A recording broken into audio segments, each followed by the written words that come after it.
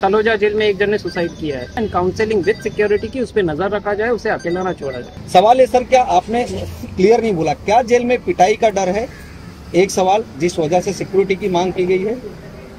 उसकी खुद की मेंटल स्टेटस अभी क्या है ये आप भी नहीं समझ पाएँगे मैं भी नहीं समझ पाऊँगा। तीन दिन पहले वाशी तलोजा जेल में एक जन ने सुसाइड किया है।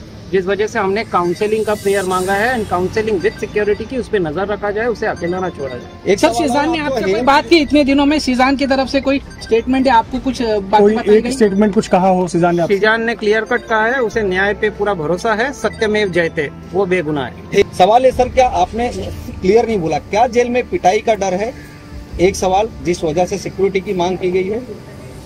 उसकी खुद की मेंटल स्टेटस अभी क्या है? ये आप भी नहीं समझ पाएँगे मैं भी नहीं समझ पाऊँगा। तीन दिन पहले वाशी तलोजा जेल में एक जन ने सुसाइड किया है।